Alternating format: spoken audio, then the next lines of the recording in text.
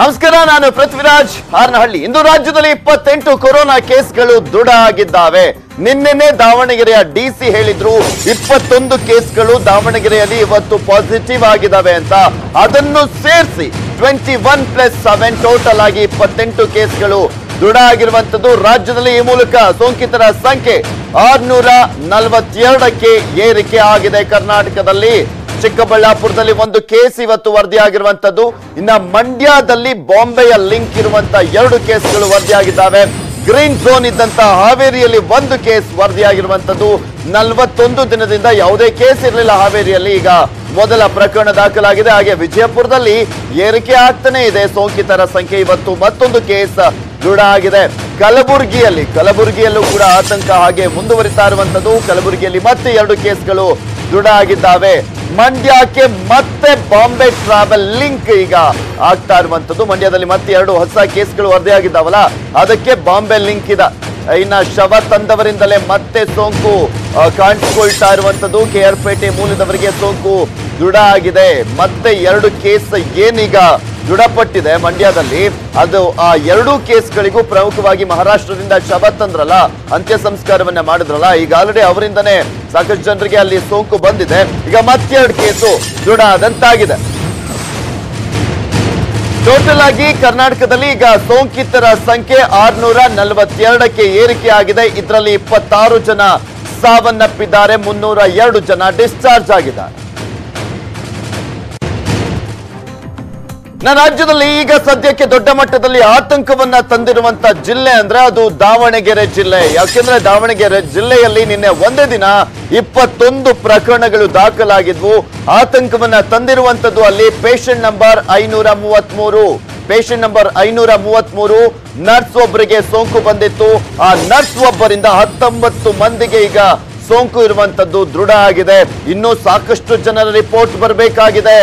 ಸಾಕಷ್ಟು ಜನರ ರಿಪೋರ್ಟ್ ಬರಬೇಕಾಗಿರುವಂತಹ ಹಿನ್ನೆಲೆಯಲ್ಲಿ ಇನ್ನೆಷ್ಟು ಜನಕ್ಕೆ ಪಾಸಿಟಿವ್ ಆಗುತ್ತೋ ಅನ್ನುವ ಆತಂಕ ಅಲ್ಲಿನ ಜಿಲ್ಲಾಡಳಿತಕ್ಕೆ ಮನೆ ಮಾಡಿರುವಂಥದ್ದು. ಹಾಗೆ ದಾವಣಗೆರೆ ಜಿಲ್ಲೆಯವರಿಗೆ ಇದೇ ದೊಡ್ಡ ಮಟ್ಟದಲ್ಲಿ ಆತಂಕವನ್ನ ಸೃಷ್ಟಿ ಮಾಡಿರುವಂತದ್ದು ಜಿಲ್ಲೆಯಲ್ಲಿ ಈ ಮೂಲಕ ಈಗ ಟೋಟಲ್ ಆಗಿ ಸೋಂಕಿತರ ಸಂಖ್ಯೆ ಮೂವತ್ತೊಂದಕ್ಕೆ ಏರಿಕೆ ಆದಂತಾಗಿದೆ. ಸೋಂಕಿತರ ಸಂಖ್ಯೆ ದಾವಣಗೆರೆಯಲ್ಲಿ ಈಗ ಆಕ್ಟಿವ್ ಕೇಸಸ್ಗಳು ಅಟ್ ಪ್ರೆಸೆಂಟ್ ಆಕ್ಟಿವ್ ಕೇಸಸ್ಗಳು ಚಿಕಿತ್ಸೆಯನ್ನ ಪಡಿತಾ ಇರುವಂತದ್ದು ಸೋಂಕಿನಿಂದಾಗಿ ಇಪ್ಪತ್ತೆಂಟು ಜನ ಇಪ್ಪತ್ತೆಂಟು ಜನ ಆಕ್ಟಿವ್ ಕೇಸಸ್ಗಳು ಇರುವಂತದ್ದು ದಾವಣಗೆರೆಯಲ್ಲಿ. ಅದರಲ್ಲಿ ಒಬ್ರು ಅಂದ್ರೆ ಟೋಟಲ್ ಮೂವತ್ತೊಂದಲ್ವಾ, ಇಪ್ಪತ್ತೆಂಟು ಆಕ್ಟಿವ್ ಕೇಸಸ್ ಒಬ್ರು ಸಾವನ್ನಪ್ಪಿದ್ದಾರೆ. ಇಬ್ಬರು ಗುಣಮುಖರಾಗಿದ್ದಾರೆ. ದಾವಣಗೆರೆ ಜಿಲ್ಲೆಯ ಅಂಕಿಅಂಶ ಇದು. ಕಳೆದ ಮೂರು ದಿನಗಳಲ್ಲಿ ಮುನ್ನೂರ ಮೂವತ್ತು ಸ್ಯಾಂಪಲ್ಗಳನ್ನ ಲ್ಯಾಬ್ಗೆ ಕಳುಹಿಸಲಾಗಿತ್ತು. ಅದರಲ್ಲಿ ನಿನ್ನೆ ಮೂವತ್ತೇಳು ಜನ ಅವರ ಸ್ಯಾಂಪಲ್ಗಳಲ್ಲಿ ಇಪ್ಪತ್ತೊಂದು ಜನರಿಗೆ ಸೋಂಕು ಇರುವಂತದ್ದು ದೃಢಪಟ್ಟಿದೆ. ಇನ್ನೂ ಕೂಡ ಇನ್ನೂರ ತೊಂಬತ್ಮೂರು ಜನರ ರಿಪೋರ್ಟ್ ಬರಬೇಕಾಗಿದೆ. ಇನ್ನೂರ ತೊಂಬತ್ಮೂರು ಜನರ ರಿಪೋರ್ಟ್ ಬರಬೇಕಾಗಿರುವಂತಹ ಹಿನ್ನೆಲೆಯಲ್ಲಿ ನಿನ್ನೆ ಅಲ್ಲಿನ ಡಿಸಿ ದಾವಣಗೆರೆ ಡಿಸಿ ಮಹಂತೇಶ್ ಬೀಳಗಿ ಅವರು ಮಾತನಾಡ್ತಾ ಹೇಳ್ತಾ ಇದ್ರು. ಸಹಜವಾಗಿ ಆತಂಕ ದೊಡ್ಡ ಮಟ್ಟದಲ್ಲಿ ಇದೆ ಅಂತ ಹಾಗೆ ಅಲ್ಲಿನ ಸಂಸದರು ಕೂಡ ಮಾತನಾಡ್ತಾ ಇದ್ರು. ಇನ್ನು ಹಾವೇರಿ ಜಿಲ್ಲೆಯಲ್ಲಿ, ಹಾವೇರಿ ಜಿಲ್ಲೆ ಗ್ರೀನ್ ಝೋನ್ ಅಲ್ಲಿ ಇತ್ತು ಗ್ರೀನ್ ಝೋನ್ ಅಂದ್ರೆ ನಿಮ್ಗೆಲ್ರಿಗೂ ಕೂಡ ಗೊತ್ತಿದೆ, ಯಾವುದೇ ರೀತಿಯಾದಂತಹ ಸೋಂಕಿತರು ಇಲ್ಲದಂತಹ ಜಿಲ್ಲೆಯನ್ನ ಗ್ರೀನ್ ಝೋನ್ ಅಂತೀವಿ. ಈಗ ಹಾವೇರಿ ಜಿಲ್ಲೆಗೂ ಕೂಡ ಕೊರೋನಾ ಅಲ್ಲೂ ಕಾಣಿಸಿಕೊಂಡಿದೆ. ಒಬ್ಬರಿಗೆ ಕೊರೋನಾ ಇರುವಂತದ್ದು ದೃಢಪಟ್ಟಿರುವಂತದ್ದು ಮೂವತ್ತೆರಡು ವರ್ಷದ ವ್ಯಕ್ತಿಗೆ ಕೊರೋನಾ ಸೋಂಕು ಇರೋದು ದೃಢಪಟ್ಟಿದೆ. ಮುಂಬೈನಿಂದ ಲಾರಿಯಲ್ಲಿ ಬಂದಿದ್ದಂತಹ ವ್ಯಕ್ತಿಗೆ ಸೋಂಕು ಇರುವಂತದ್ದು ಈಗ ದೃಢಪಟ್ಟಿದೆ. ಲಾರಿಯಲ್ಲಿ ಮೂವರು ಬಂದಿದ್ರು. ಅದರ ಬಗ್ಗೆ ಮಾಹಿತಿಯನ್ನ ಕಲೆ ಹಾಕಿತ್ತು ಜಿಲ್ಲಾಡಳಿತ ಕಳೆದ ಇಪ್ಪತ್ತೆಂಟರಂದು ಲಾರಿಯಲ್ಲಿ ಬಂದಿದ್ರು ಮೂವರು. ನಿನ್ನೆ ಒಬ್ಬರಲ್ಲಿ ಕೊರೋನಾ ಸೋಂಕು ದೃಢಪಟ್ಟಿದೆ. ಇನ್ನು ಇಬ್ಬರ ರಿಪೋರ್ಟ್ ಬರಬೇಕು. ಮುಂಬೈನಿಂದ ಮೂವರು ಸವಣೂರಿಗೆ ಬಂದಿದ್ರು. ಸೋಂಕಿತನ ಅಣ್ಣನ ರಿಪೋರ್ಟ್ ಮತ್ತೆ ಹತ್ತೊಂಬತ್ತು ವರ್ಷದ ಮಗನ ಮೇಲೆ ಈಗ ನಿಗವನ್ನ ವಹಿಸಲಾಗಿದೆ. ಹಾವೇರಿ ಜಿಲ್ಲಾಧಿಕಾರಿ ಕೃಷ್ಣ ಬಾಜಪಾಯಿ ಮಾಹಿತಿಯನ್ನ ನೀಡಿದ್ದಾರೆ. ಇದೊಂದು ರೀತಿಯಾದಂತ ಮಂಡ್ಯದ ಕೇಸ್ ಆಗುವ ರೀತಿಯಲ್ಲಿ ಕಾಣಿಸ್ತಾ ಇದೆ. ಸೊ ಈಗ ಜಿಲ್ಲೆಯಲ್ಲಿ ಮೊದಲ ಕೋವಿಡ್ ನೈನ್ಟೀನ್ ಹೂ ಸಾವು ಸಾವು ಸಾರ್ವಜನಿಕರು ಪತ್ತೆಯಾಗಿದೆ ಲ್ಯಾಬ್ ಪರೀಕ್ಷೆಯಲ್ಲಿ ದೃಢಪಟ್ಟಿರುತ್ತದೆ ಅದೇ ಒಂದು ಫಸ್ಟ್ ಕೋವಿಡ್ ನೈನ್ಟೀನ್ ಕೇಸು ಪರಿವರ್ತಿತ ನಾಮ ಹಾಗೂ ಹಣದೊಂದಿಗೆ ಮುಂಬೈಯಿಂದ ಲಾರಿ ಮೂಲಕ ದಿನಾಂಕ ಇಪ್ಪತ್ತೆಂಟು ನಾಲ್ಕು. ತಿರುಗಿರುವುದು ರಾತ್ರಿ ಹನ್ನೊಂದು ಗಂಟೆಗೆ ಸಾವಿರಿಗೆ ಬಂದು ನೇರವಾಗಿ ಮನೆಗೆ ತೆರಳುತ್ತಾನೆ ದಿನಾಂಕ twenty nine April two thousand twenty ಒಂದು ಸ್ಥಳೀಯರು ನೀಡಿದ ಮಾಹಿತಿ ಮೇರೆಗೆ ಆ, ಮೂರು ಜನರು ಸ್ವಾಟ್ ಟೆಸ್ಟ್ ನಡೆಸಲಾಗಿದ್ದು ದಿನಾಂಕ ಮೂರನೇ ಮೇ ಒಂದು ರಾತ್ರಿ ವೇಳೆಗೆ ಒಬ್ಬನು ಸೋಂಕು ದೃಢಪಟ್ಟಿರುತ್ತದೆ ಇಂದು ಮುಂಜಾನೆ ಮತ್ತೊಬ್ಬನಲ್ಲಿ ಸೋಂಕು ದೃಢಪಟ್ಟಿದೆ ಮರು ಪರೀಕ್ಷೆ ನಡೆಸಲಾಗುತ್ತದೆ ಸಂಜೆ ವೇಳೆಗೆ ಮಾಹಿತಿ ಬರುವ ನಿರೀಕ್ಷೆ. ದಾವಣಗೆರೆಯಲ್ಲಿ ಯಾವ ರೀತಿಯಾದಂತಹ ಆತಂಕ ಮನೆ ಮಾಡಿದೆ ಅಂತ ನಿಮ್ಗೆಲ್ರಿಗೂ ಗೊತ್ತಿದೆ, ಇದೆಲ್ಲದ್ರ ಬಗ್ಗೆ ಕಂಪ್ಲೀಟ್ ಆಗಿ ಅಪ್ಡೇಟ್ಸ್ ಅನ್ನ ನೀಡ್ತಾರೆ ನಮ್ಮ ಪ್ರತಿನಿಧಿ ಎಚ್ ಎಂ ಪಿ ಕುಮಾರ್ ದೂರವಾಣಿ ಸಂಪರ್ಕದಲ್ಲಿದ್ದಾರೆ. ಕುಮಾರ್, ಇಲ್ಲಿ ನೋಡ್ತಾ ಇದ್ವಿ, ನರ್ಸ್ ಒಬ್ಬರಿಂದ ಹತ್ತೊಂಬತ್ತು ಜನರಿಗೆ ಸೋಂಕು ದೃಢಪಟ್ಟಿದೆ. ಇನ್ನು ಒಂದ್ ಕಡೆ ಆ ವೃದ್ಧ ಸಾವನ್ನಪ್ಪದ್ರಲ್ಲ, ಅವರಿಂದ ಏಳು ಜನಕ್ಕೆ ಸೋಂಕು ಇರುವಂತದ್ದು ದೃಢಪಟ್ಟಿರುವಂತದ್ದು ಇನ್ನು ಯಾವಾಗ ಇನ್ನೂರ ತೊಂಬತ್ ಮೂರು ಜನರ ರಿಪೋರ್ಟ್ ಬರುತ್ತಂತೆ ನಿನ್ನೆ ಆತಂಕವನ್ನ ವ್ಯಕ್ತಪಡಿಸಿದ್ರು ಅಲ್ಲಿನ ಜಿಲ್ಲಾಧಿಕಾರಿ, ಹಾಗೆ ಸಂಸದರು. ಹೌದು ಪೃಥ್ವಿರಾಜ್ ಏನು ದಾವಣಗೆರೆಯ ಭಾಷಾನಗರದ ಆರೋಗ್ಯ ಕೇಂದ್ರದಲ್ಲಿ ಸ್ಟಾಫ್ ನರ್ಸ್ ಆಗಿದ್ದಂತ ನರ್ಸ್ ಅವರ ಸಂಪರ್ಕದಿಂದ ಓರ್ವ ಮಗ ಸೇರಿದಂತೆ ಒಟ್ಟು ಈಗ ಹತ್ತೊಂಬತ್ತು ಜನಕ್ಕೆ ಈಗ ನರ್ಸ್ನಿಂದ ಸೋಂಕು ತಗಲಿ- ತಗುಲಿದೆ ಅಂತ ಹೇಳ್ಬೋದು. ಇದರಲ್ಲಿ ಏನು ಹನ್ನೊಂದು ಜನ ಪುರುಷರು ಹಾಗೂ ಏಳು ಜನ ಮಹಿಳೆಯರು ಸೇರಿದ್ದಾರೆ. ಅಲ್ಲದೆ ಏಳು ವರ್ಷ ಹಾಗೂ ಆರು ವರ್ಷ, ಹನ್ನೊಂದು ವರ್ಷದ ಮಗು ಕೂಡ ಈ ಸೋಂಕಿನಿಂದ ಈಗ ನರ್ಸ್ನಿಂದ ಸೋಂಕು ದೃಢಪಟ್ಟಿದೆ. ಇನ್ನು ವೃದ್ಧ ಏನು ಸಾವನ್ನಪ್ಪಿದ್ದ ವೃದ್ಧ, ಈತನಿಂದ ಈಗ ಒಟ್ಟು ನಿನ್ನೆ ಇದರಲ್ಲಿ ಎರಡು ಜನಕ್ಕೆ ಈಗ ಸೋಂಕು ತಲುಗಿದೆ. ಅಲ್ಲದೆ ಅವರ ಕುಟುಂಬದ ಮೂರು ಜನ ಸೊಸೆಯಂದ್ರು, ಓರ್ವ ಬಾಲಕನು ಕೂಡ ಸೇರಿದ್ದ. ಈಗ ಏನು ಒಟ್ಟು ಐ ರಿಸ್ಕ್ ಇದ್ದಂತ ಒಟ್ಟು ನೂರ ಅರವತ್ನಾಲ್ಕು ಪ್ಲಸ್ ಮುನ್ನೂರ ಮೂವತ್ತು ಜನರ ವರದಿಯಲ್ಲಿ ಈಗ ಇನ್ನೂರ ತೊಂಬತ್ತು ವರದಿ ಇನ್ನೂ ಬರಬೇಕಾಗಿದೆ. ಏನು ಪ್ರತಿನಿತ್ಯ ಶಿವಮೊಗ್ಗ ಲ್ಯಾಬ್ ಅಲ್ಲಿ ಮೂವತ್ತು ವರದಿಗಳು ಮಾತ್ರ ಟೆಸ್ಟ್ ಮಾಡ್ತಾ ಇದ್ದಾರೆ. ಈ ಪ್ರತಿನಿತ್ಯ ಮೂವತ್ತು ಟೆಸ್ಟ್ಗಳಲ್ಲಿ ಹೈ ರಿಸ್ಕ್ ಇದ್ದಂತ ಮೂವತ್ತೇಳರಲ್ಲಿ ನಿನ್ನೆ ಇಪ್ಪತ್ತೊಂದು ಕೇಸ್ಗಳು ಪಾಸಿಟಿವ್ ಅಂತ ಹೇಳಿ ಬಂದಿದ್ದು. ಈಗೆಲ್ಲದರ ನಡುವೆ ಈಗ ದಾವಣಗೆರೆ ಜಿಲ್ಲಾಧಿಕಾರಿಗಳು ಕೂಡ ಇದರ ಬಗ್ಗೆ ಆತಂಕ ವ್ಯಕ್ತಪಡಿಸಿದ್ರು. ಏನು ಈಗ ನರ್ಸ್ನ ಸಂಪರ್ಕ ಸೋಂಕು ಹೇಗೆ ತಗಲಿತು ಅಂತ ಹೇಳಿ ಈಗ ಯಕ್ಷ ಪ್ರಶ್ನೆ ಆಗಿದೆ. ಅಲ್ಲದೆ ವೃದ್ಧ ಕುಮಾರ್, ಇನ್ನೂರ ತೊಂಬತ್ ಮೂರು ಜನರ ರಿಪೋರ್ಟ್ ಬರ್ಬೇಕಾಗಿದೆಯಲ್ಲ? ಅವರೆಲ್ಲರನ್ನು ಈಗ ಪ್ರೈಮರಿ ಕಾಂಟ್ಯಾಕ್ಟ್ಸ್ ಅಂತ ಅಂದ್ರೆ ಈಗ ಅವರೆಲ್ಲರೂ ಪ್ರೈಮರಿ ಕಾಂಟ್ಯಾಕ್ಟ್ಸ್ ಏನು ಅಂತ? ಅವರೆಲ್ಲರನ್ನು ಹೋಟೆಲ್ನಲ್ಲಿ ಕ್ವಾರಂಟೈನ್ ಮಾಡಿದ್ರ ಅಥವಾ ಅವ್ರ ಮನೆಯಲ್ಲೇ ಕ್ವಾರಂಟೈನ್ ಆಗಿರೋರ? ಏನು ಪೃಥ್ವಿರಾಜ್, ಮುನ್ನೂರ ಮೂವತ್ತು ಜನದಲ್ಲಿ ನೂರ ನಲವತ್ತೆಂಟು ಜನರನ್ನ ವಿವಿಧ ಲಾಡ್ಜ್ ಅಲ್ಲಿ ಕ್ವಾರಂಟೈನ್ ಮಾಡಲಾಗಿದೆ. ಇನ್ನುಳಿದಂತ ನೂರ ಎಂಬತ್ತಾರು ಜನರನ್ನ ಮನೆಯಲ್ಲಿ ಕ್ವಾರಂಟೈನ್ ಮಾಡಲಾಗಿದೆ. ಏನು ಪ್ರಾಥಮಿಕ ಸಂಪರ್ಕದಲ್ಲಿ ಇರುವಂತ ನೂರ ನಲವತ್ತೆಂಟು ಜನಗಳ ಪೈಕಿ ಮೂವತ್ತೆಂಟು ಜನ ಈಗ ಆಸ್ಪತ್ರೆಯ ಐಸೋಲೇಷನ್ ವಾರ್ಡ್ನಲ್ಲಿ ಚಿಕಿತ್ಸೆ ಪಡಿತಾ ಇದ್ದಾರೆ. ಇದರಲ್ಲಿ ಇಪ್ಪತ್ತೆಂಟು ಜನ ಈಗ ಪಾಸಿಟಿವ್ ಬಂದಿರೋದ್ರಿಂದ ಅವ್ರನ್ನೆಲ್ಲರೂ ಈಗ ಆಸ್ಪತ್ರೆಯಲ್ಲಿ ಚಿಕಿತ್ಸೆ ಕೊಡಲಾಗ್ತಿದೆ ಅದರಲ್ಲಿ ಪ್ರಾಥಮಿಕ ಸಂಪರ್ಕದಲ್ಲಿದ್ದಂತ ನೂರ ನಲವತ್ತೆಂಟು ಜನರ ಪ್ರಾಥಮಿಕ ವರದಿ ಈಗ ಸದ್ಯಕ್ಕೆ ಇಮಿಡಿಯೇಟ್ ಆಗಿ ಬರಬೇಕಾಗಿದೆ, ಬರಬೇಕಾಗಿರೋದು ಆತಂಕ ಮನೆ ಮಾಡಿದೆ. ಇದರಲ್ಲಿ ಎಷ್ಟು ಜನಕ್ಕೆ ಈಗ ಸೋಂಕು ಬರುತ್ತೆ ಅನ್ನೋದು ಈಗ ಕಾದ್ ನೋಡ್ಬೇಕಾಗಿದೆ. ಓಕೆ ಥ್ಯಾಂಕ್ ಯು ಕುಮಾರ್ ನಿಮ್ಮೆಲ್ಲ ಡೀಟೇಲ್ಸ್ಗಾಗಿ ಸೊ ಗಮನಿಸ್ತಾ ಇದ್ದೀರಾ?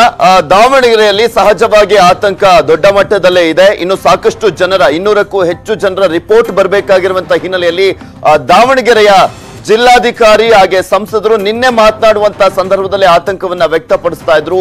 ಮೂವತ್ತೇಳು ರಿಪೋರ್ಟ್ ಬಂದಿದೆ, ಅದರಲ್ಲೇ ಇಪ್ಪತ್ತೊಂದು ಪಾಸಿಟಿವ್ ಆಗಿದ್ದಾವೆ ಇನ್ನು ಉಳಿದಂತ ರಿಪೋರ್ಟ್ಗಳ ಕತೆ ಏನಾಗುತ್ತೋ ಏನೋ ಅಂತ ಆತಂಕವನ್ನ ವ್ಯಕ್ತಪಡಿಸ್ತಾ ಇದ್ರು. ಶಿವಮೊಗ್ಗ, ಶಿವಮೊಗ್ಗದ ಲ್ಯಾಬ್ನಲ್ಲಿ ರಿಪೋರ್ಟ್ ಬರ್ತಾ ಇರುವಂತದ್ದು.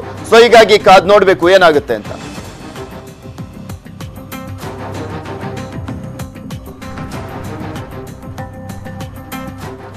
ನಾ ಕರ್ನಾಟಕದಲ್ಲಿ ಸೋಂಕಿತರ ಸಂಖ್ಯೆ ಎಷ್ಟಾಗಿದೆ ಅನ್ನೋದ್ರ ಅಂಕಿ ಅಂಶವನ್ನ ನಿಮ್ಮ ಮುಂದೆ ಇಟ್ಟಿದ್ವಿ. ಆರ್ನೂರ ನಲವತ್ತೆರಡು ಆಗಿದೆ. ಇದರಲ್ಲಿ ಟಾಪ್ ಫೈವ್ ಜಿಲ್ಲೆಗಳು ಯಾವುದು? ಹಾಗೆ ಯಾವ್ಯಾವ ಜಿಲ್ಲೆಯಲ್ಲಿ ಎಷ್ಟು ಜನ ಸೋಂಕಿತರಿದ್ದಾರೆ, ಎಷ್ಟು ಜನ ಸಾವನ್ನಪ್ಪಿದ್ದಾರೆ, ಎಷ್ಟು ಜನ ಗುಣಮುಖರಾಗಿದ್ದಾರೆ ಅನ್ನೋದ್ರ ಕಂಪ್ಲೀಟ್ ಅಂಕಿ ಅಂಶವನ್ನ ನಿಮ್ಮ ಮುಂದೆ ಇಡ್ತಾ ಹೋಗ್ತೀನಿ. ಆ ಗ್ರಾಫಿಕ್ಸ್ನಲ್ಲಿ ನಿಮಗೆ ತೋರಿಸ್ತೀವಿ. ಈಗ ಕರ್ನಾಟಕದಲ್ಲಿ ಟೋಟಲ್ ಆಗಿ ಸೋಂಕಿತರ ಸಂಖ್ಯೆ ಆರ್ನೂರ ನಲವತ್ತೆರಡು ಜನ ಸೋಂಕಿತರಿದ್ದಾರೆ. ಇದರಲ್ಲಿ ಸಾವನ್ನಪ್ಪಿದವರ ಸಂಖ್ಯೆ ಎಷ್ಟಿದೆ ಅಂದ್ರೆ ಇಪ್ಪತ್ತಾರು ಜನ ಸಾವನ್ನಪ್ಪಿರುವಂತದ್ದು ಕಲಬುರಗಿಯ ವ್ಯಕ್ತಿ ಸಾವನ್ನಪ್ಪಿದಂತ ಹಿನ್ನೆಲೆಯಲ್ಲಿ ಇಪ್ಪತ್ತಾರಕ್ಕೆ ಏರಿಕೆ ಆಗಿದೆ, ಇಪ್ಪತ್ತೈದು ಇದ್ದಿದ್ದಂಥದ್ದು. ಇದರಲ್ಲಿ ಗುಣಮುಖರಾದಂತವರ ಸಂಖ್ಯೆ ಎಷ್ಟು ಹಾಗಾದ್ರೆ ಅಂತ ನೋಡೋದಾದ್ರೆ ಮುನ್ನೂರ ನಾಲ್ಕು ಜನ ಗುಣಮುಖರಾಗಿದ್ದಾರೆ, ಇಪ್ಪತ್ತಾರು ಜನ ಸಾವನ್ನಪ್ಪಿದ್ದಾರೆ. ಅಂದ್ರೆ ಅಲ್ಲಿ ಟೋಟಲ್ ಆಗಿ ಆಕ್ಟಿವ್ ಕೇಸಸ್ ಕರ್ನಾಟಕದಲ್ಲಿ ಅಂದ್ರೆ ಮುನ್ನೂರ ಎರಡು ಮುನ್ನೂರ ಎರಡು ಆಕ್ಟಿವ್ ಕೇಸಸ್ಗಳು ಇದಾವೆ. ಇನ್ನ ಟಾಪ್ ಫೈವ್ ಜಿಲ್ಲೆಗಳು ಯಾವುದು ಹಾಗಾದ್ರೆ ಅಂದ್ರೆ ಇಟ್ಸ್ ನನ್ ಅದರ್ ದೆನ್ ನಂಬರ್ ಒನ್ ಸ್ಥಾನದಲ್ಲಿ ಇನ್ನೂ ಕೂಡ ಮುಂದುವರಿತಾ ಇದೆ. ಬೆಂಗಳೂರು ಬೆಂಗಳೂರು ಸಿಟಿನೇ ಇನ್ನೂ ಕೂಡ ಮುಂದುವರಿತಾ ಇರುವಂತದ್ದು ನಂಬರ್ ಒನ್ ಸ್ಥಾನದಲ್ಲಿ ಅಲ್ಲಿ ಇರುವಂತ ಸೋಂಕಿತರ ಸಂಖ್ಯೆ. ಸದ್ಯ ಇವತ್ತು ಯಾವುದೇ ರೀತಿಯಾದಂತ ಸೋಂಕಿತರು ವರದಿ ಆಗಿಲ್ಲ. ಅಂದ್ರೆ ಪಾಸಿಟಿವ್ ಪ್ರಕರಣ ಇವತ್ತು ವರದಿ ಆಗಿಲ್ಲ. ಸೊ ಹೀಗಾಗಿ ನೂರ ನಲವತ್ತೊಂಬತ್ತರಲ್ಲೇ ಇದೆ. ನೂರ ನಲವತ್ತೊಂಬತ್ತು ಜನ ಸೋಂಕಿತರು ಟೋಟಲ್ ಆಗಿ ಬೆಂಗಳೂರಿನಲ್ಲಿ ವರದಿಯಾಗಿದ್ದಂಥದ್ದು ಇದರಲ್ಲಿ ಆಕ್ಟಿವ್ ಕೇಸಸ್ಗಳು ಸಾವನ್ನಪ್ಪಿದವರ ಸಂಖ್ಯೆ ಎಷ್ಟು ಅಂತ ನೋಡೋದಾದ್ರೆ ಸಾವನ್ನಪ್ಪಿದವರ ಸಂಖ್ಯೆ ಆರು ಆರರಲ್ಲೇ ಇರುವಂತದ್ದು ಇನ್ನು ಆ, ಅಂದ್ರೆ ನಿನ್ನೆ ಮೊನ್ನೆ ಯಾವುದೇ ರೀತಿಯಾದಂತಹ ಸಾವಿನ ಸಂಖ್ಯೆನೂ ಕೂಡ ವರದಿ ಆಗಿಲ್ಲ. ಇದರಲ್ಲಿ ಗುಣಮುಖರಾದಂತವರ ಸಂಖ್ಯೆ ಎಷ್ಟು ಅಂದ್ರೆ ಎಪ್ಪತ್ತೆರಡು ಜನ ಗುಣಮುಖರಾಗಿದ್ದಾರೆ. ಬೆಂಗಳೂರಿನಲ್ಲಿ ನೂರ ನಲವತ್ತೊಂಬತ್ತು ಕೇಸ್ಗಳ ಪೈಕಿ ಆರು ಜನ ಸಾವನ್ನಪ್ಪಿದ್ರೆ ಎಪ್ಪತ್ತೆರಡು ಜನ ಗುಣಮುಖರಾಗಿದ್ದಾರೆ. ಇನ್ನ ಟಾಪ್ ಸೆಕೆಂಡ್ನಲ್ಲಿ ಇರುವಂತ ಜಿಲ್ಲೆ ಯಾವುದು ಅಂದ್ರೆ ನಿಮ್ಗೆಲ್ರಿಗೂ ಕೂಡ ಗೊತ್ತಿದೆ. ಸನ್ ಅದರ್ ದನ್ ಮೈಸೂರು, ಸಾಂಸ್ಕೃತಿಕ ನಗರಿ ಮೈಸೂರು. ಮೈಸೂರಿನಲ್ಲಿ ಟೋಟಲ್ ಆಗಿ ಎಂಬತ್ತೆಂಟು ಪ್ರಕರಣಗಳು ವರದಿಯಾಗಿದ್ವು. ಅದರಲ್ಲಿ ಪ್ರಮುಖವಾಗಿ ಜುಬಿಲಿಯಂಟ್ ಲಿಂಕ್ ಸೊ ಹೀಗಾಗಿನೇ ಎಂಬತ್ತೆಂಟು ಪ್ರಕರಣಗಳು ವರದಿಯಾಗಿದ್ವು. ಆದ್ರೆ ಖುಷಿಯ ವಿಚಾರ ಮೈಸೂರಿನಲ್ಲಿ ಅಂದ್ರೆ ಸಾವಿನ ಸಂಖ್ಯೆ ಅಂತೂ ಒಂದೂ ಇಲ್ಲ. ಝೀರೋ ಶೂನ್ಯದಲ್ಲೇ ಮುಂದುವರೆದಿದೆ ಮೈಸೂರಿನಲ್ಲಿ. ಸೊ ಆ, ಸಂಖ್ಯೆಯನ್ನ ತೋರಿಸ್ತಾ ಇದೀವಿ. ಝೀರೋ ಹಾಗೆ ಇರಲಿ. ಇನ್ನು ಎಂಬತ್ತೆಂಟರ ಪೈಕಿ, ಸೋಂಕಿತರ ಪೈಕಿ ಎಂಬತ್ತೆಂಟರಲ್ಲಿ ಎಪ್ಪತ್ತೈದು ಜನ ಗುಣಮುಖರಾಗಿದ್ದಾರೆ. ಇದರಲ್ಲಿ ಆಕ್ಟಿವ್ ಕೇಸಸ್ ಕೇವಲ ಹದಿಮೂರು ಹದಿಮೂರು ಮಾತ್ರ ಆಕ್ಟಿವ್ ಕೇಸಸ್ಗಳು ಇದಾವೆ ಮೈಸೂರಿನಲ್ಲಿ. ಇನ್ನ ಮೂರನೇ ಜಿಲ್ಲೆ ಯಾವುದು? ಅತಿ ಹೆಚ್ಚು ಸೋಂಕಿತರಿರುವಂತದ್ದು ಅಂದ್ರೆ ಅದು ಬೆಳಗಾವಿ. ರಾಜ್ಯದ ಅತಿ ದೊಡ್ಡ ಜಿಲ್ಲೆ, ಬೆಂಗಳೂರನ್ನ ಬಿಟ್ರೆ ಅದು ಬೆಳಗಾವಿ. ಹದಿನೆಂಟು ತಾಲೂಕುಗಳಿದಾವೆ. ಬೆಳಗಾವಿ ಜಿಲ್ಲೆಯಲ್ಲಿ ಸೋಂಕಿತರ ಸಂಖ್ಯೆ ಟೋಟಲ್ ಆಗಿ ಎಪ್ಪತ್ತೊಂದಿದೆ. ಎಪ್ಪತ್ತೊಂದರ ಪೈಕಿ ಸಾವನ್ನಪ್ಪಿದವರ ಸಂಖ್ಯೆ ಒಂದು ಮಾತ್ರ, ಆ ಒಂದು ಅಲ್ಲೇ ಸ್ಟಿಕ್ ಆಗಿರ್ಲಿ, ಯಾವುದೇ ರೀತಿಯಾದಂತಹ ಸಾವಿನ ಸಂಖ್ಯೆ ಮತ್ತೆ ವರದಿ ಆಗ್ದಂಗಿರ್ಲಿ ನಾವು ಗುಣಮುಖರಾದಂಥವರ ಸಂಖ್ಯೆ ಹದಿನೈದಾಗಿದೆ. ಗುಣಮುಖರಾಗ್ತಾ ಇರುವಂತಹ ಸಂಖ್ಯೆನೂ ಕೂಡ ಸ್ವಲ್ಪ ಮಟ್ಟಿಗೆ ಏರಿಕೆ ಆಗ್ತದೆ. ಯಾಕೆಂದ್ರೆ ಮಿನಿಮಮ್ ಅಂದ್ರೆ ಡಿಸ್ಚಾರ್ಜ್ ಆಗ್ಲಿಕ್ಕೆ ಹದಿನಾಲ್ಕು ದಿನಗಳು ಬೇಕೇ ಬೇಕು. ಸೊ ಹೀಗಾಗಿನೇ ಇನ್ನ ನಾಲ್ಕನೇ ಜಿಲ್ಲೆ ಯಾವುದು ಅಂದ್ರೆ ಇವತ್ತು ಎರಡು ಪ್ರಕರಣ ಹೊಸದಾಗಿ ವರದಿ ಆಯ್ತಲ್ಲ? ಸೊ ಹೀಗಾಗಿ ಅರವತ್ತೊಂದಿದ್ದು ಅರವತ್ ಮೂರಕ್ಕೆ ಏರಿಕೆ ಆಗಿದೆ. ಸೋಂಕಿತರ ಸಂಖ್ಯೆ ಕಲಬುರಗಿಯಲ್ಲಿ ಅರವತ್ಮೂರು, ಸಾವನ್ನಪ್ಪಿದವರ ಸಂಖ್ಯೆ ಆರು. ನಿನ್ನೆ ಒಬ್ರು ಸಾವನ್ನಪ್ಪದಂತ ಹಿನ್ನೆಲೆಯಲ್ಲಿ ಅದು ಆರಕ್ಕೆ ಏರಿಕೆ ಆಗಿದೆ. ಇನ್ನ ಗುಣಮುಖರಾದಂತವರ ಸಂಖ್ಯೆ ಹದಿನೆಂಟಾಗಿದೆ. ಹದಿನೆಂಟಾಗಿರುವಂತದ್ದು. ಇನ್ನ ನೆಕ್ಸ್ಟ್ ಟಾಪ್ ಫೈನಲ್ ಇರುವಂತಹ ಜಿಲ್ಲೆ ಯಾವುದು ಅಂದ್ರೆ ವಿಜಯಪುರ. ವಿಜಯಪುರದಲ್ಲಿ ಟೋಟಲ್ ಆಗಿ ಸೋಂಕಿತರ ಸಂಖ್ಯೆ ನಲವತ್ತೇಳು. ನಲವತ್ತೇಳು ಜನ ಸೋಂಕಿತರಿದ್ದಾರೆ. ಸಾವನ್ನಪ್ಪಿದವರ ಸಂಖ್ಯೆ ಎರಡಿದೆ. ವಿಜಯಪುರದಲ್ಲಿ ಇನ್ನ ಡಿಸ್ಚಾರ್ಜ್ ಆಗ್ತಾ ಇರುವಂತವರ ಸಂಖ್ಯೆನೂ ಕೂಡ ಏರಿಕೆ ಆಗ್ತಾ ಇದೆ. ಹದಿನೈದು ಜನ ಡಿಸ್ಚಾರ್ಜ್ ಆಗಿರುವಂತದ್ದು ಇದು ವಿಜಯಪುರದ ಜಿಲ್ಲೆಯಲ್ಲಿ. ಕರ್ನಾಟಕದ ಟಾಪ್ ಫೈವ್ ಜಿಲ್ಲೆಗಳು. ಇನ್ನ ನೆಕ್ಸ್ಟ್ ಅಂದ್ರೆ ಈಗ ಇತ್ತೀಚೆಗೆ ಜಾಸ್ತಿ ಸಂಖ್ಯೆಯಲ್ಲಿ ವರದಿಯಾದಂತ ಮತ್ತೊಂದು ಜಿಲ್ಲೆ, ದಿಢೀರಂತ ಇಪ್ಪತ್ತೊಂದು ಪ್ರಕರಣಗಳು ವರದಿಯಾದಂತ ಜಿಲ್ಲೆ ಅಂದ್ರೆ ಅದು ದಾವಣಗೆರೆ. ಅದು ನೀವು ಕೂಡ ನೋಡಿದ್ರಿ, ಮೂವತ್ತೊಂದು ಕೇಸ್ಗಳು ಅಲ್ಲಿ ವರದಿಯಾಗಿದ್ದಂಥದ್ದು. ಇನ್ನ ಟೋಟಲ್ ಆಗಿ ಇಂಡಿಯಾದ ಲೆಕ್ಕವನ್ನ ತೋರಿಸ್ತೀವಿ ನಿಮ್ಗೆ. ಅಂಕಿ ಅಂಶವನ್ನ ನಿಮ್ಮ ಮುಂದೆ ಹೇಳ್ತಾ ಇದೀವಿ. ಟೋಟಲ್ ಆಗಿ ಇಂಡಿಯಾದಲ್ಲಿ ವರದಿಯಾಗಿರುವಂತಹ ಸೋಂಕಿತರ ಸಂಖ್ಯೆ ನಲವತ್ತೆರಡು ಸಾವಿರದ ಐನೂರ ಮೂವತ್ಮೂರು. ನಲವತ್ತೆರಡು ಸಾವಿರದ ಐನೂರ ಮೂವತ್ಮೂರು ಜನ ಸೋಂಕಿತರು. ಇದರಲ್ಲಿ ಸಾವನ್ನಪ್ಪಿದವರ ಸಂಖ್ಯೆ ಸಾವಿರದ ಮುನ್ನೂರ ಎಪ್ಪತ್ಮೂರು ಜನ ಸಾವನ್ನಪ್ಪಿದ್ದಾರೆ. ಇದು ಟೋಟಲ್ ಆಗಿ ಇಂಡಿಯಾದಲ್ಲಿ ನಾವು ಹೇಳ್ತಾ ಇರುವಂತದ್ದು ಇನ್ನ ಗುಣಮುಖರಾಗ್ತಾ ಇರುವಂತವರ ಸಂಖ್ಯೆ ಕೇವಲ ಹನ್ನೊಂದು ಸಾವಿರದ ಏಳ್ನೂರ ಏಳು ಜನ ಮಾತ್ರ ಇದುವರೆಗೂ ಡಿಸ್ಚಾರ್ಜ್ ಆಗಿರುವಂತದ್ದು ಇನ್ನ ಟಾಪ್ ಒನ್ ಸ್ಥಾನದಲ್ಲಿ ಇರುವಂತ ರಾಜ್ಯ ಯಾವುದು ಅಂದ್ರೆ ಮಹಾರಾಷ್ಟ್ರ. ಮಹಾರಾಷ್ಟ್ರನೇ ಆರಂಭದಿಂದಲೂ, ಹಾಗೆ ಈಗಲೂ ಕೂಡ ಮುಂದುವರೆದಿದೆ ನಂಬರ್ ಒನ್ ಸ್ಥಾನದಲ್ಲಿ. ಅಲ್ಲಿ ಕಂಟ್ರೋಲೇ ಆಗ್ತಾ ಇಲ್ಲ. ಹನ್ನೆರಡು ಸಾವಿರದ ಒಂಬೈನೂರ ಎಪ್ಪತ್ನಾಲ್ಕು ಜನ ಸೋಂಕಿತರಿದ್ದಾರೆ. ಹದಿಮೂರು ಸಾವಿರದ ಗಡಿಯತ್ತ ಬಂದು ತಲುಪಿಟ್ಟಿದೆ ಮಹಾರಾಷ್ಟ್ರ. ಇನ್ನ ಸಾವನ್ನಪ್ಪಿದವರ ಸಂಖ್ಯೆಯಲ್ಲೂ ಕೂಡ ಇದೇ ರಾಜ್ಯ ನಂಬರ್ ಒನ್ ಸ್ಥಾನದಲ್ಲಿದೆ.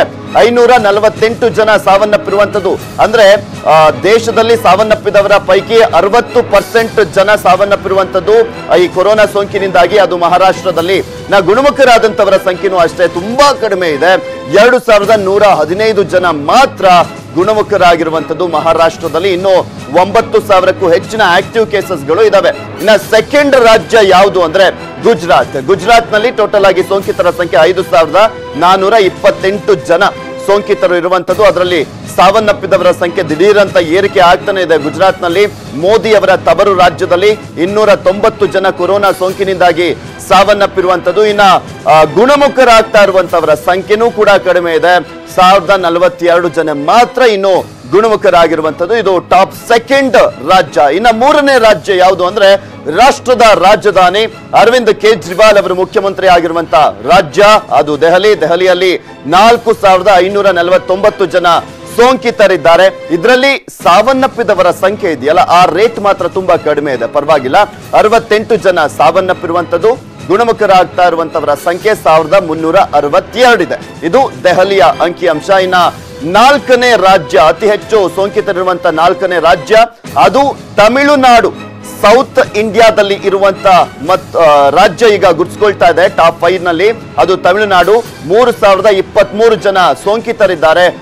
ಮೂವತ್ತು ಜನ ಸಾವನ್ನಪ್ಪಿರುವಂತದ್ದು ತಮಿಳುನಾಡಿನಲ್ಲಿ. ಪನ್ನೀರ್ ಸೆಲ್ವಂ ಅಲ್ಲಿ ಎಡಪ್ಪಾಡಿ ಪಳನಿಸ್ವಾಮಿ ಅವರು, ಮುಖ್ಯಮಂತ್ರಿಗಳು Panneer Selvam D C M ಅವರ ರಾಜ್ಯದಲ್ಲೂ ಕೂಡ ಕಂಟ್ರೋಲ್ಗೆ ಸಿಗ್ತಾ ಇಲ್ಲ. ಗುಣಮುಖರಾಗ್ತಾ ಇರುವಂತವರ ಸಂಖ್ಯೆ ಸಾವಿರದ ಮುನ್ನೂರಿದೆ ಇನ್ನ ರಾಜಸ್ಥಾನ, ರಾಜಸ್ಥಾನದಲ್ಲಿ ಸೋಂಕಿತರ ಸಂಖ್ಯೆ ಎಷ್ಟಿದೆ ಅಂದ್ರೆ ಎರಡು ಸಾವಿರದ ಎಂಟುನೂರ ಎಂಬತ್ತಾರು ಜನ ಸೋಂಕಿತರಿದ್ದಾರೆ. ಇದರಲ್ಲಿ ಸಾವನ್ನಪ್ಪಿದವರ ಸಂಖ್ಯೆ ಎಪ್ಪತ್ತೊಂದಿರುವಂತದ್ದು ಗುಣಮುಖರಾಗ್ತಾ ಇರುವಂತವರ ಸಂಖ್ಯೆ ಸಾವಿರದ ಮುನ್ನೂರ ಐವತ್ತೊಂಬತ್ತು ಜನ.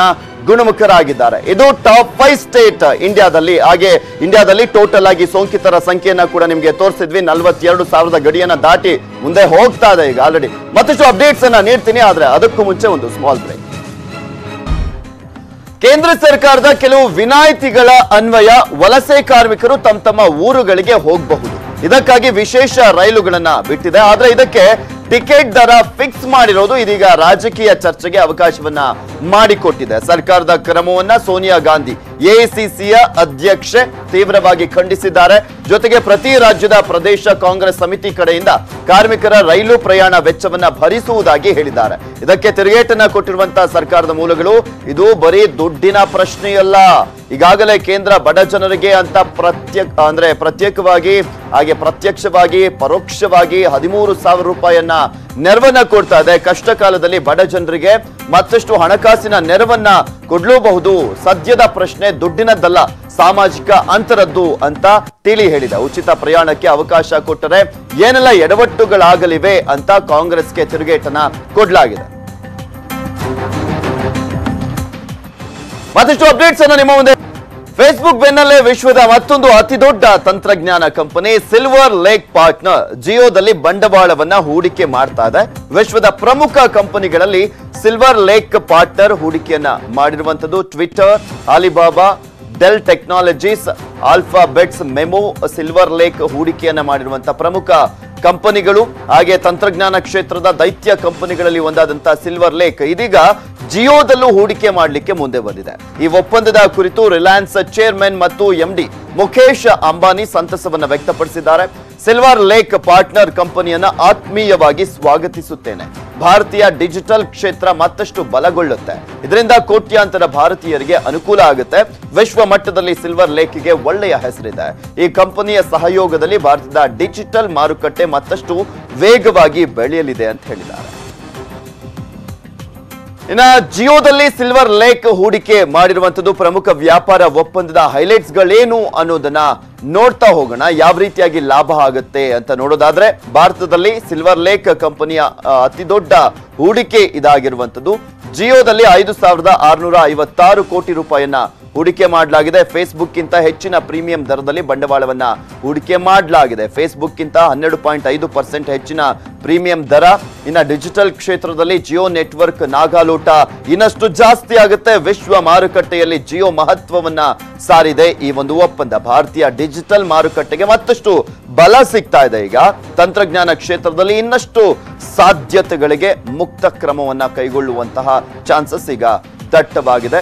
ಇನ್ನ ಸಿಲ್ವರ್ ಲೇಕ್ ಪಾರ್ಟ್ನರ್ ಕಂಪನಿಯನ್ನು ಆತ್ಮೀಯವಾಗಿ ಸ್ವಾಗತಿಸುತ್ತೇನೆ. ಈ ಒಪ್ಪಂದದಿಂದ ಭಾರತೀಯ ಡಿಜಿಟಲ್ ಕ್ಷೇತ್ರ ಮತ್ತಷ್ಟು ಬಲಗೊಳ್ಳುತ್ತೆ. ಇದರಿಂದ ಕೋಟ್ಯಾಂತರ ಭಾರತೀಯರಿಗೆ ಅನುಕೂಲವಾಗಲಿದೆ. ವಿಶ್ವ ಮಟ್ಟದಲ್ಲಿ ಸಿಲ್ವರ್ ಲೇಕ್ಗೆ ಒಳ್ಳೆಯ ಹೆಸರಿದೆ. ಈ ಕಂಪನಿಯ ಸಹಯೋಗದಲ್ಲಿ ಭಾರತದ ಡಿಜಿಟಲ್ ಮಾರುಕಟ್ಟೆ ಮತ್ತಷ್ಟು ವೇಗವಾಗಿ ಬೆಳೆಯಲಿದೆ ಅಂತ ಮುಖೇಶ್ ಅಂಬಾನಿ ಅವರು ಹೇಳಿದ್ದಾರೆ. ಇವೆಷ್ಟು ಇವರೆಗಿನ ಸುದ್ದಿ. ನಾನು ಪೃಥ್ವಿರಾಜ್. ಹಾರನಹಳ್ಳಿ ನೋಡ್ತಾರೆ ನ್ಯೂಸ್ ಏಟೀನ್ ಕನ್ನಡ. ಜಾಲ ನಮ್ಮದು, ಬಲ ನಿಮ್ಮದು.